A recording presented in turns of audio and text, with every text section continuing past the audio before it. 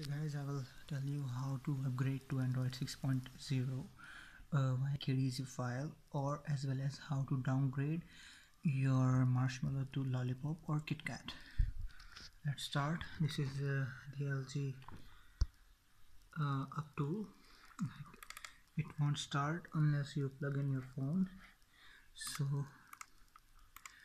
uh, I will plug my LG G3 running on custom Android 6.0 ROM for D855 but uh, with the mod uh, with the patch I am using it on my D858 HK it's running very smooth no issues and uh, no problem with the call as well.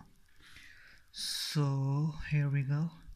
First open the LG flash LGUP tool it will look like this. My model is version 85530b as I'm using the custom ROM for the version uh, D855 uh, go to uncheck bin here.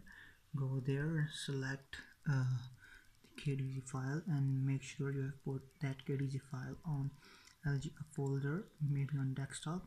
So here we get uh, the tot file. So cancel it and uh, select upgrade and uh, uncheck the bin file and you will get the KDZ and here.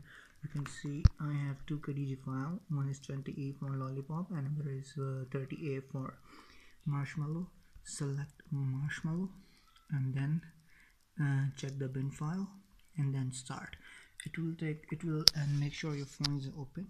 So it will take almost uh, 12 to 20 minutes uh, to get your phone uh, to the marshmallow and this is the same way you can downgrade your phone from marshmallow to lollipop or even to KitKat and uh, for KDZ files uh, go to your Chrome and search for LG firmware website and make sure you have selected LG G3 only. So here you go. In the first we have HKG Hong Kong version for 30A and uh, MAL model LLBS whatever it is it's the same thing but uh, the region is different. That is like uh, Hong Kong is for like UAE version and uh, MAL means the Malaysian version.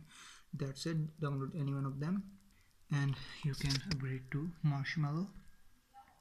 Or uh, here you go. If you want KitKat go to number 204 that is uh, version 10F or if you want the latest uh, lollipop that is 214 uh, version 20e that's it. Hope you guys if you have any question i'm on XDA i'll post the link below and uh, you can contact me there and towards my uh, not mine but the chinese developers ROM hope you will enjoy it. Thank you